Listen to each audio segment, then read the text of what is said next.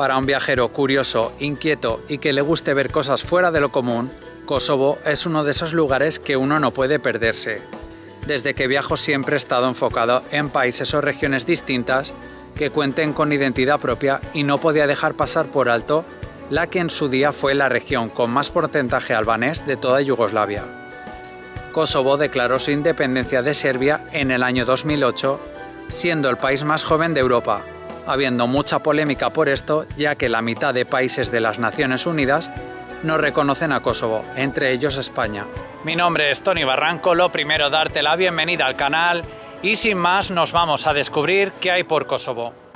Primera aventura por el país que es cruzar la frontera con Macedonia, que he venido aquí con este coche de alquiler desde Skopje y tener todos los papeles del coche, que es muy importante, los papeles de alquiler del coche con el pasaporte y una carta verde que te venden en la tienda donde alquilas el coche, que son 35 euros para entrar en Kosovo y que el seguro te cubra. Y para conocer el país, qué mejor que comenzar por su capital Pristina, que es de las menos turísticas y visitadas de toda Europa. Un lugar curioso es el cartel que pone Newborn, que quiere decir recién nacido, un eslogan que crearon para celebrar cada 17 de febrero su independencia y las letras cambian de colores y la temática es diferente cada año. Y es un lugar típico para aprovechar y hacerse una foto. y detrás del New Bor está el edificio de arquitectura más socialista de toda la ciudad, que es el Centro de la Juventud y Deporte, que es del año 1974, bajo el nombre de Boro y Ramid, dos parlamentarios y héroes yugoslavos de etnia serbia y albana. Y la plaza está repleta con banderas de Albania y de Kosovo en símbolo de la unión de hermanamiento de ambos grupos mayoritarios. Y justo al lado está el Estadio Nacional, que es un pequeñito estadio de unas 13.000 localidades, he leído, que a quien le guste ver todos los campos de fútbol, pues tenéis justo aquí al lado el de Kosovo. Las Heroínas es un monumento creado con 20.145 medallas en honor a la contribución y sacrificio de las mujeres de etnia albanesa durante la guerra de Kosovo. Al mismo tiempo, este monumento recuerda el cruel crimen de violación cometido por las fuerzas serbias durante la guerra, formando la silueta de una mujer anónima. El único edificio católico en Pristina es la Catedral de la Madre Teresa de Calcuta, que es de reciente construcción y todavía siguen ampliándola con una segunda torre. Y como se puede visitar y subir a la torre, pues nos vamos para adentro.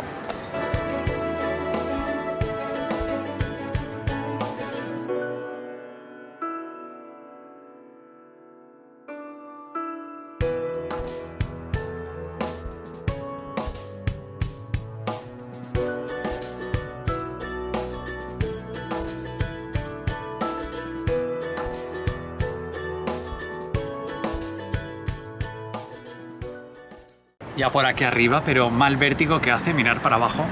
¿A quién se le ha ocurrido poner la barandilla así de hierros que no tapa nada? Si estoy cagado y yo creo que hasta que se mueve esto.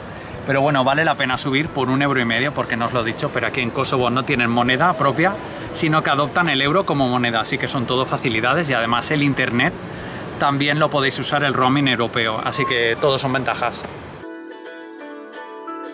Justo a la entrada de la catedral está la estatua de Ibrahim Rugova, que fue el primer presidente de Kosovo y el que dirigió su independencia. En un parque de la zona universitaria está la Biblioteca Nacional, que es el edificio más icónico de Kosovo, siendo declarado uno de los edificios más feos del mundo, pero tampoco lo veo tan mal ya que es algo así diferente.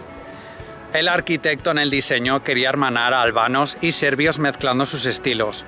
Por una parte, con las 99 cúpulas blancas simbolizan los sombreros albaneses y por otra, una representación de las iglesias ortodoxas serbias con los cubos negros.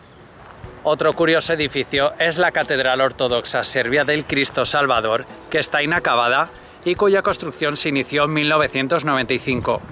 Se planeaba inaugurar en el año 99, pero debido a la guerra nunca se llegó a terminar. Y aquí sigue este pedazo de edificio lleno todo de maleza. La bandera de Kosovo fue elegida en un concurso con más de 900 candidaturas en el año 2007. Es de color azul sobre el cual se ubica un mapa de Kosovo en color dorado y seis estrellas blancas sobre este, representando cada una de ellas a uno de los pueblos que habitan en su territorio, el albanés, bosniaco, goraní, romaní, serbio y turco. hora de comer y mucha gente preguntará sobre gastronomía, pues por aquí hay mucha influencia turca de los Balcanes, no hay que olvidarse del cebapi, que es una especie de carne picada, así como unas salchichas hamburguesa, donde yo he ido ahora a un sitio a comer, me he gastado, no llega ni 5 euros, una especie de kebab kosovar con bebida, muy bueno todo, os lo recomiendo. El apoyo de los Estados Unidos con Bill Clinton en el poder fueron determinantes para crear el autogobierno de Kosovo, y desde entonces existe un cierto agradecimiento a los americanos con lugares como este, con una estatua de Bill Clinton y banderas de los Estados Unidos.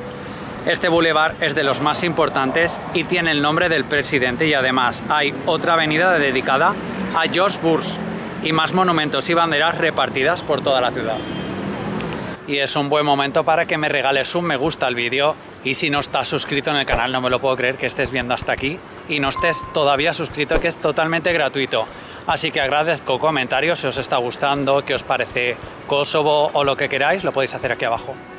Hay tan poco turismo que quería comprar mi man de recuerdo y no encontraba tiendas. Me ha tocado buscarla en Google, que está esta en la avenida de George Bush.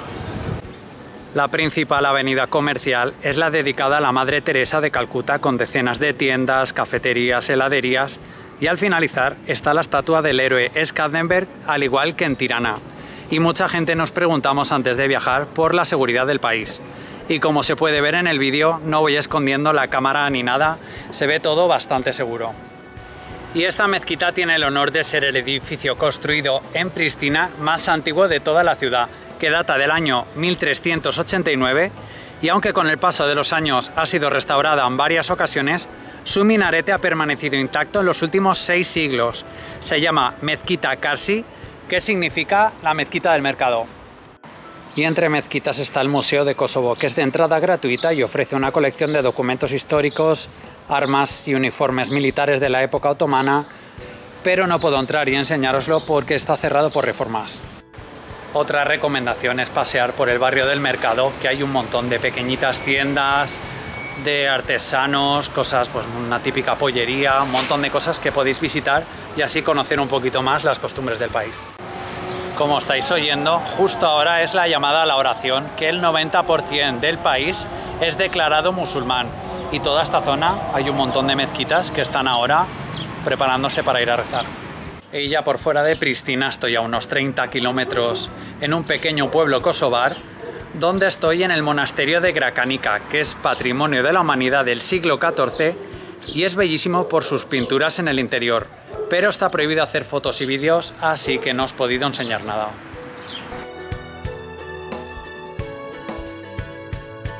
Otra visita es el recinto arqueológico de Ulpiana, que se pueden encontrar restos de templos, basílicas, termas romanas y esto data del siglo II a.C. Y por aquí con estos cachorretes que me he encontrado una familia que son siete chiquitines y los padres que están por aquí, se ve que viven en el recinto. Espero que os haya gustado mi aventura por Kosovo. Si queréis ver, tengo vídeos en Albania, Montenegro, Eslovenia, por aquí tengo en varios países. Y espero que os haya gustado este vídeo. Le deis me gusta aquí abajo, comentéis lo que queráis y que si no estás suscrito, muy importante que lo hagas, que es totalmente gratis y a mí me ayudáis un montón. Nos vemos ya en otro viaje y en otra aventura. Muchas gracias.